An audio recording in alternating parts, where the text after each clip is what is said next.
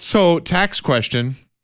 If you leave your traditional IRA to a loved one, the new Secure Act gives them 10 years to withdraw all of it and pay taxes on it. So, would they benefit more by taking a little bit of it in each of those 10 years, or would they be better off letting it sit there and then like withdrawing one lump sum at the end of the 10 years? I love questions like this because with no details, there's not really a good answer. And it, you know, it's like a like Too I sound like I sound like an attorney over Too here. many Well, variables. It, depends. Yeah. It depends. It's true though. I mean, is it eight million dollars or is it Oh, I see. eight hundred thousand? Yeah. And what's the tax bracket of the person that's inheriting the money? yeah. That's a good question. Yeah. What what's the kid's tax bracket? Right? I don't know any of these you know questions. Does it say this in the article? No. So uh, we have people that have like we've got a client that's gonna you know probably inherit somewhere in the neighborhood of two and a half, three million dollars, depending on what the market does in the next you know few years. But it's pretty good size IRA, and it's gonna be have to be taken out in ten years. So we're estimating 250 to 300 grand a year on top of the income that they already have. Hmm. They're going to have to withdraw it. Oh, that's ugly. That's real money. That's real taxes, isn't it? Yeah. Yeah. And so you go if the if the if my client's parents would have converted it to an IRA, they wouldn't be taking anything out. They would be holding it for another 10 years and watch it that thing grow hopefully Mm. and then be able to take it a lump sum tax free. Hmm. Huge difference. Huge, huge Roth. Right, a Roth, Yeah. right? If you converted it to Roth, but of course nobody wants the pain. Just like we all don't want to eat well. Meaning they don't want to pay the taxes up front. Is that what Yeah, the, mean? yeah, the parents don't want to. You know, they, they they've known about Roth for twenty plus years, but they didn't want to because their financial advisor didn't motivate them to do it. Their CPA didn't know they even had an IRA really until they turned seventy and started taking it out.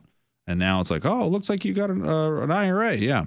So there's no communication. There's no planning. The advisor, you know, has been a good advisor, recommended investing, and kind of coached them along to stay in the market in 2008 when everything was falling apart and you know all the bumps in the road. That's I'm not saying that the advisor's not doing anything, right? They're they're giving them guidance and and keeping them diversified and all of that, right? And they could have, you know, um, ripped them all off, right? But they didn't do that, right? They did a good job in that sense, but there was no plan. There was no tax plan.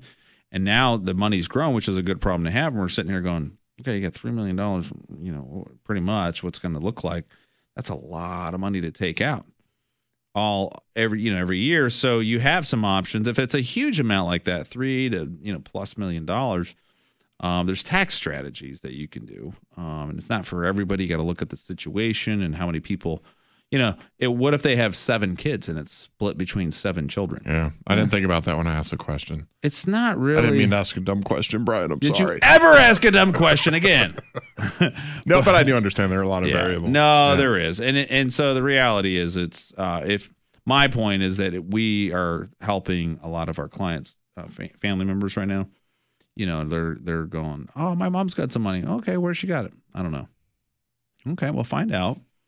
You know, get some statements. We're not talking about managing it for them. They have they have an advisor at Edward Jones or the bank or and it sounds like they're pretty happy and you know the people are 85 90 years old they're not they're not interested in switching or changing Yeah, right. anything right they're just and they're and they're content and i said and that's this isn't about like hey we can do a better job we just want to help your parents because ultimately helping your parents helping you Mm-hmm. you're you're a sole beneficiary of this estate that's worth six million dollars let's make sure it passes on to you efficiently since i know that person is not a financial planner is not a tax planner.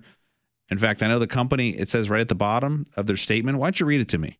Go ahead. You got, you brought that statement in of your mom and dad? Okay hmm. read it to me. It says this we cannot give tax advice basically is what it says. Yeah. we do not give tax advice. Okay, so the investments that you have in there are 100% taxable. Any decisions that you do to take that out creates a taxable event.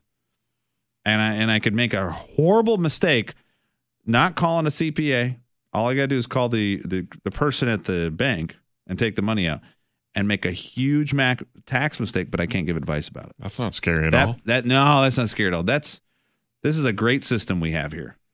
Let's sign. I mean, let's sign us up for. uh Let's do this. Let's specialize more. You know, you do the investments, we do the taxes.